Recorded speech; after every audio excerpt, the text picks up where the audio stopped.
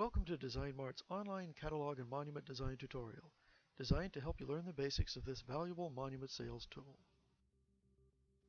First, you'll use your username and password to log into your own personal workspace where your work is stored.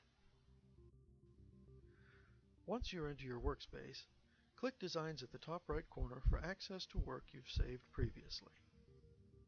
To create a new design, click Designs at the top right corner and click New Design. You'll notice that you have choices on the left side under Monuments tab. We have pre-built classics such as Ties That Bind, Precious Memories, and A Closer Walk.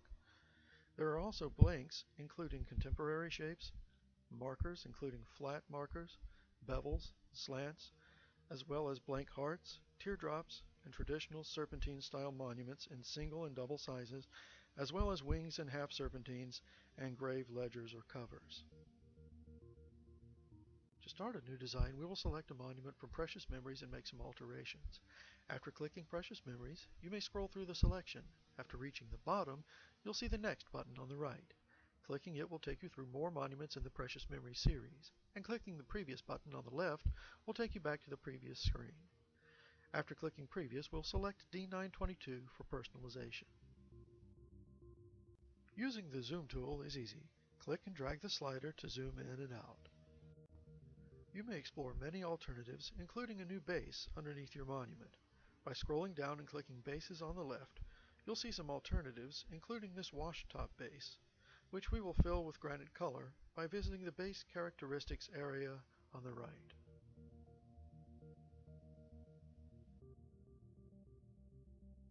You may easily delete any options you don't want by locating the object on the right and clicking Delete. Let's increase the length of the base and add a base on each side of the monument. If you click bases on the bottom of your screen, you'll see dimensions and characteristics of the base. The base may be easily resized by clicking and dragging the right side of the base to the right. Base sizes increase in increments of 2 inches, just like most popular price books and order forms. Now we'll drop down to the lower left and click Bases. Once we choose one that is appropriately sized for this monument, position it to the right of the monument, and we'll click and drag a box around the monument to select it. Once the monument and all of its carvings are selected, they may be dragged and centered on the base. Next, we'll add color to our drawing. To add color to the vases, we'll click Vases on the right and click Granite Colors and choose a color to apply. Next, click Bases on the right, then Granite Colors and choose a color for the base. And last, on the right, click Monuments, Granite Colors, and assign a color to the monument.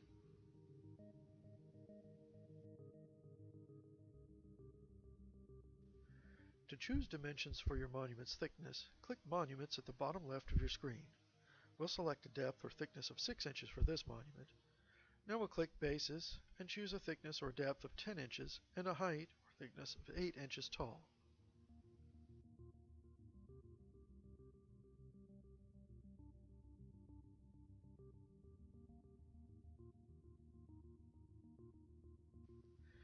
Our online monument designer features an automatic price calculator. Prices may be shown by clicking File Actions at the top left and clicking Show Pricing. You'll see the price appear below the Zoom tool. In this example, you can see how adding a polished margin to the base affects the price. Prices may be discounted or increased by percentages if you'd like. To hide the price, simply return to File Actions and uncheck the Show Pricing option. You'll find a couple of flower arrangements at the bottom of the vases category and they may be placed and resized by clicking and dragging the bottom right corner just like any other panel, flower, or emblem.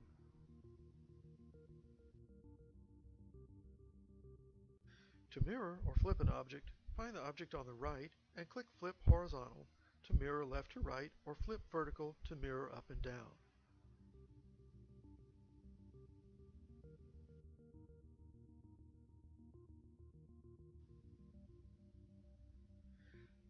Let's click the Components section on the left side and scroll down to see the categories of artwork that are available to us. We'll scroll back up and click on Floral Components to choose some new flowers for this monument.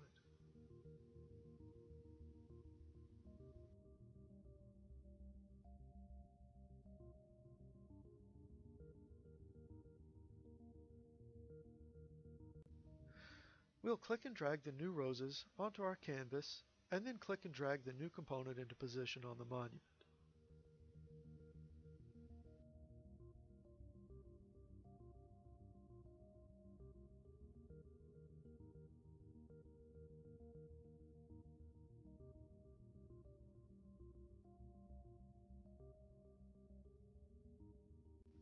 Next, we'll delete the roses that were originally part of this D922 design. You'll click the Components tab on the right locate the rows you wish to delete, and click Delete. Then we'll locate the other rows and delete it as well.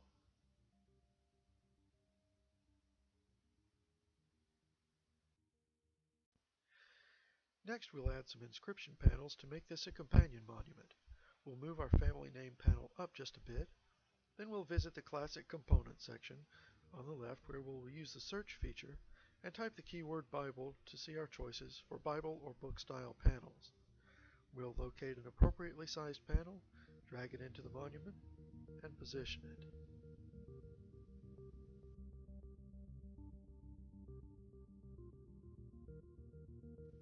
To copy an object, find the object on the right, click Copy, and a copy of the component will appear at the top left of your screen. Click and drag the object into position.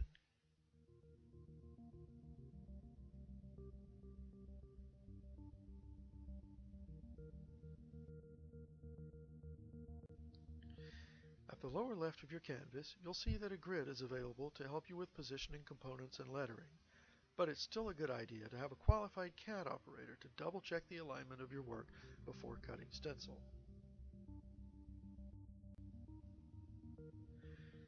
Next we'll add lettering to our monument. Near the top left of your screen, click the Add Text tab. Default text will appear at the top left of your canvas. Click and drag the text into position. Then you'll click the Edit Text tab near the top right of your screen. Highlight the default text and type your new text, and then choose a size for your lettering.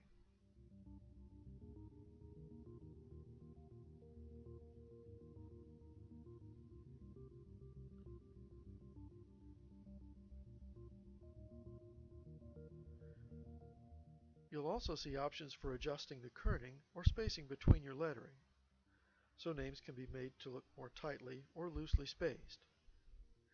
After you've typed and sized the name, you'll want to recenter it in your panel.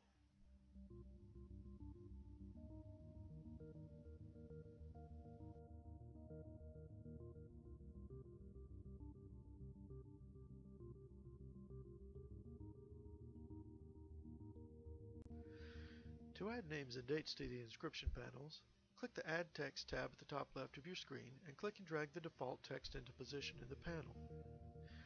Locate this new block of text on the right side of your screen and select the default text and begin typing to add new names and dates.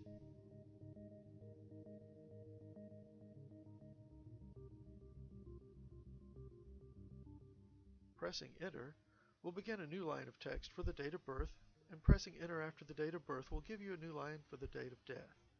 You'll notice that you have choices for the color of lettering, as well as the finish and style or font of lettering. You may also skew text or place it on an arc if you need to apply any of these special effects. You may also adjust the amount of space between the lines by working with the values in the line height field.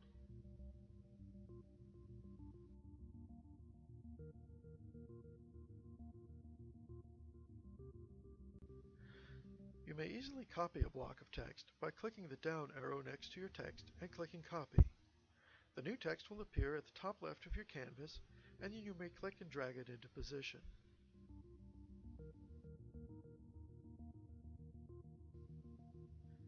At times you may find it necessary to add portraits, emblems, or other images to your monument drawing.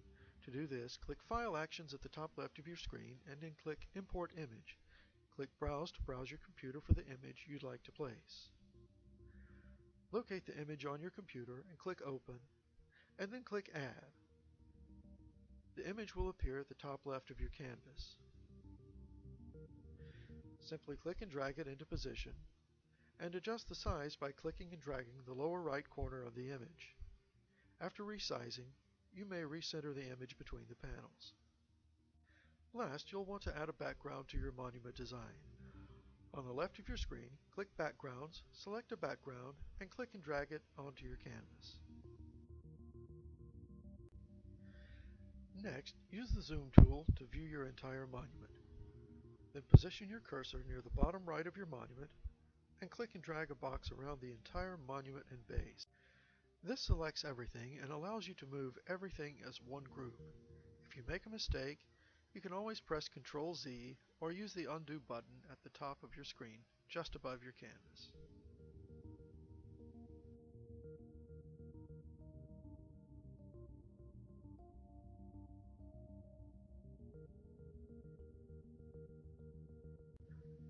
You may export your rendering in one of two ways. First, you may click Export As and choose Export PNG to create a color image or picture. This image may be opened in a variety of image preview programs, such as Windows Photo Viewer, as shown here.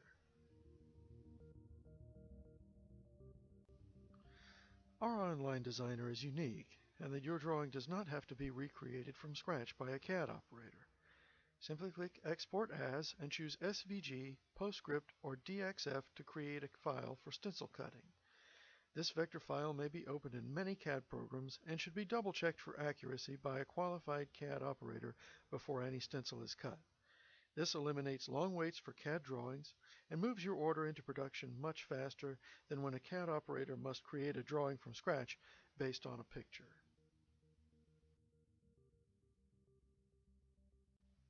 In addition to saving images and CAD files to your computer, you may also email images and CAD files to yourself and others.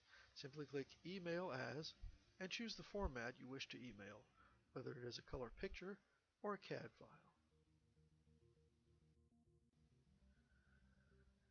You will want to save your work, so you may edit it again or use your favorite designs again in the future.